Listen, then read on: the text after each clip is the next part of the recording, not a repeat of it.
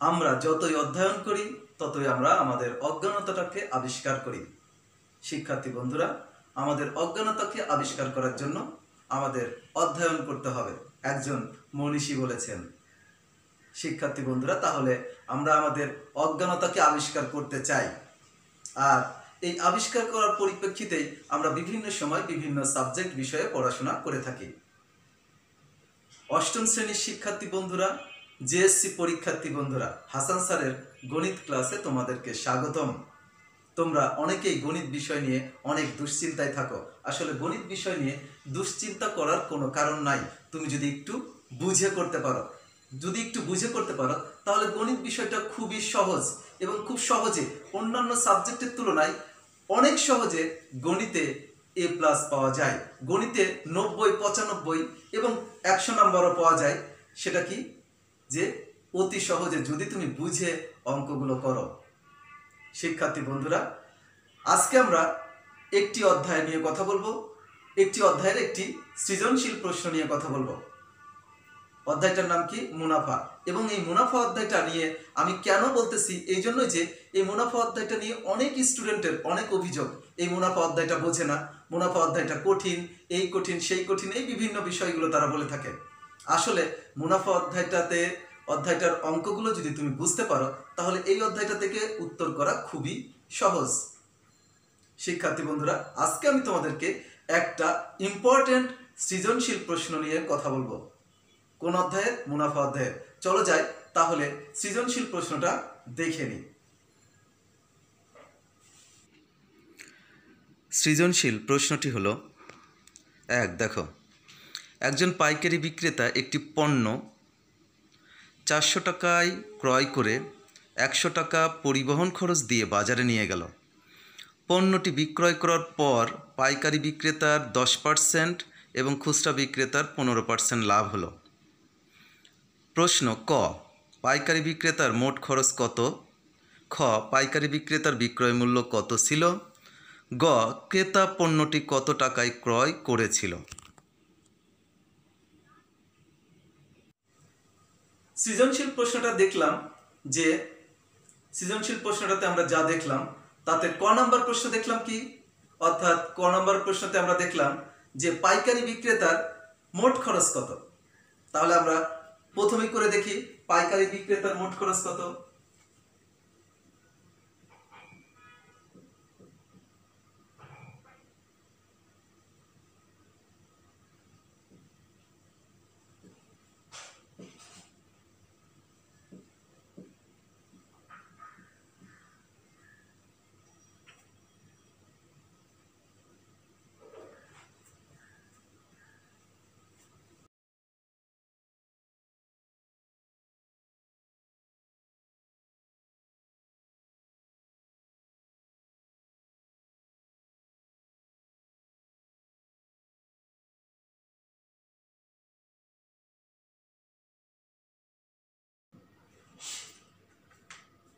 লক্ষ্য করো যে আমরা দেখেছিলাম যে পাইকারি বিক্রেতার মোট খরচ কত। দেখো যে পাইকারি বিক্রেতা মোট খরচ সমান ক্রয় মূল্য প্লাস অন্যান্য খরচ। সে সে পণ্যটি ক্রয় করেছিল চারশো টাকায় এবং তার পরিবহন খরচ হয়েছিল একশো টাকা। তাহলে তার মোট খরচ হলো কত? পাঁচশো টাকা। বুঝতে পারতেছি?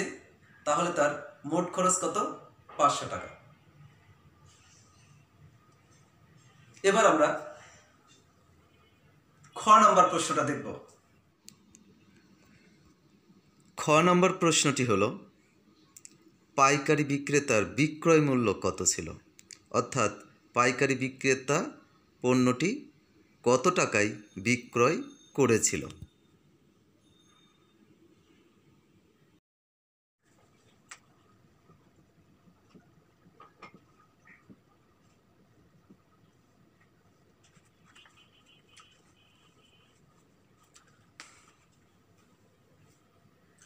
খ নম্বর প্রশ্নটা ছিল, দেখো যে পাইকারি বিক্রেতার বিক্রয় মূল্য কত? পাইকারি বিক্রেতার বিক্রয় মূল্য কত? আর পাইকারি বিক্রেতা, আমরা উদ্দীপকে দেখেছি যে পাইকারি বিক্রেতা পণ্যটি দশ পার্সেন্ট লাভে বিক্রয় করেছে।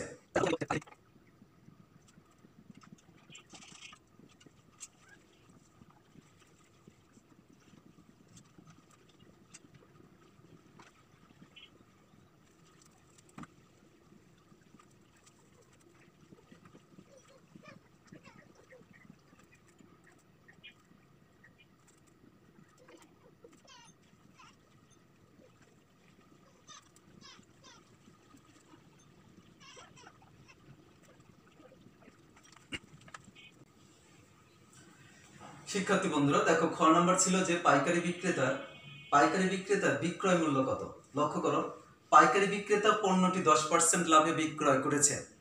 আর সে ক্রয় করেছিল কত? পাঁচশো টাকা দিয়ে। কারণ সে ক্রয় করেছিল চারশো টাকা দিয়ে, পরিবহন খরচ হয়েছিল একশো টাকা। তাহলে তার মোট খরচ হয়েছিল, তার মোট খরচ হয়েছিল পাঁচশো টাকা। এখন দেখো যে ধরি পাইকারি বিক্রেতার ক্রয় মূল্য একশো টাকা। তাহলে দশ পার্সেন্ট লাভে বিক্রয় মূল্য কত হবে? একশো যোগ দশ, তাহলে একশো দশ টাকা। পাইকারি বিক্রেতার ক্রয় মূল্য একশো টাকা হলে বিক্রয় মূল্য একশো দশ টাকা, তাই না? তাহলে ক্রয় মূল্য এক টাকা হলে বিক্রয় মূল্য একশো দশ বাই একশো টাকা, ক্রয় মূল্য পাঁচশো টাকা হলে একশো দশ গুণ পাঁচশো বাই একশো। তারপরে পাঁচশোকে একশো দ্বারা ভাগ করলাম পাঁচ হলো, তারপরে একশো দশ গুণ পাঁচ গুণ করলে পরে পাঁচশো পঞ্চাশ টাকা। অর্থাৎ পাইকারি বিক্রেতার বিক্রয় মূল্য হলো কত? পাঁচশো পঞ্চাশ টাকা। আশা করি বুঝতে পেরেছ। এবার আমরা চলে যাব গ নাম্বার প্রশ্নটা। দেখে আসি গ নাম্বার প্রশ্নটা কি ছিল। গ নাম্বার প্রশ্নটি ছিল ক্রেতা পণ্যটি কত টাকায় ক্রয় করেছিল?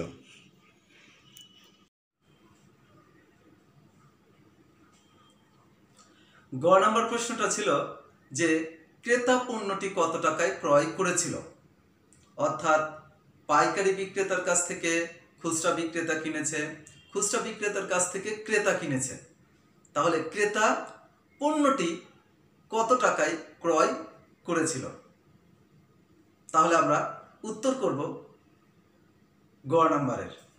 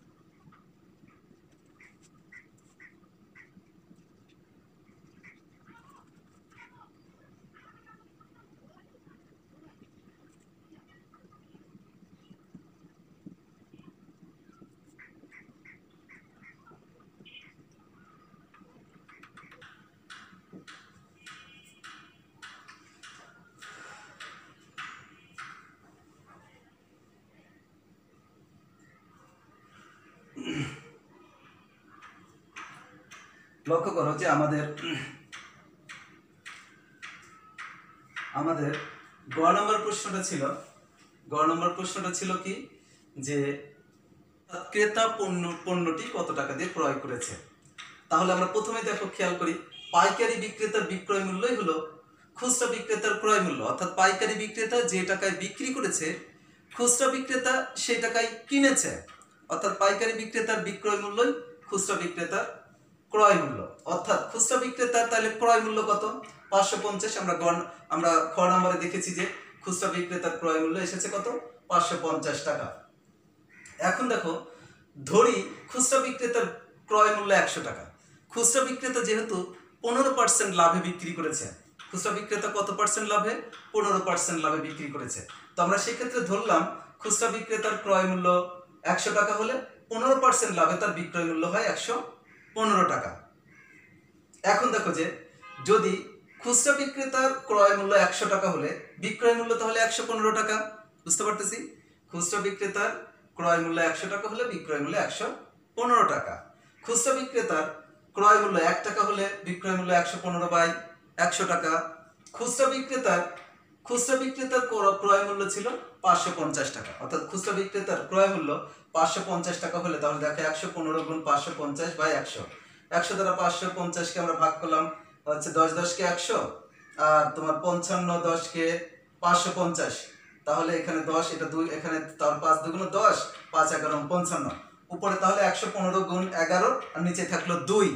দুই দিয়ে এগারোকে ভাগ করলে হলো পাঁচ পয়েন্ট পাঁচ। তাহলে একশো পনেরোকে পাঁচ পয়েন্ট পাঁচ দ্বারা গুণ করলে করলে হলো ছয়শো বত্রিশ পয়েন্ট পঞ্চাশ টাকা। এটা কি?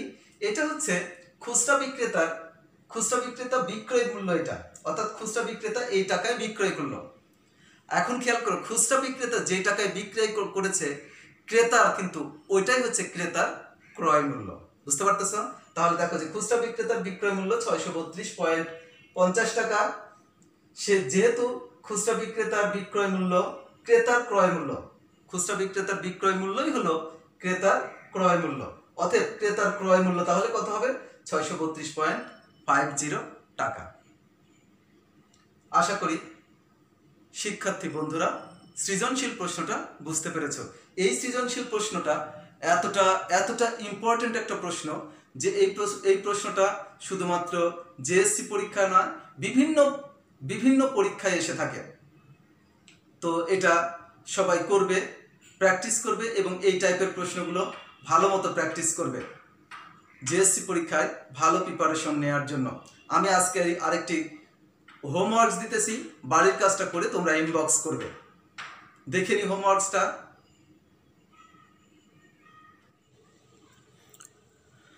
প্রশ্ন দুই, রফিক মিয়া একজন ফল বিক্রেতা, তিনি তিরিশ টাকায় দশটি দরে ও পনেরো টাকা দরে সমান সংখ্যক কলা ক্রয় করে সবগুলো কলা তিরিশ টাকায় বারোটি দরে বিক্রয় করলেন। ক নাম্বার প্রশ্ন, প্রথম প্রকারের একটি কলার ক্রয় মূল্য কত? খ নম্বর প্রশ্ন, রফিক মিয়ার শতকরা কত লাভ বা ক্ষতি হবে? গ নম্বর প্রশ্ন, দ্বিতীয় প্রকার কলা তিরিশ টাকায় বারোটি দরে বিক্রয় করলে শতকরা কত লাভ বা ক্ষতি হবে?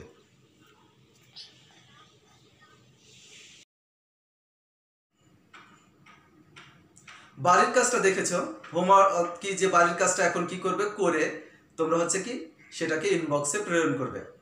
সবাই ভালো থাকবে, সুস্থ থাকবে। খোদা হাফেজ।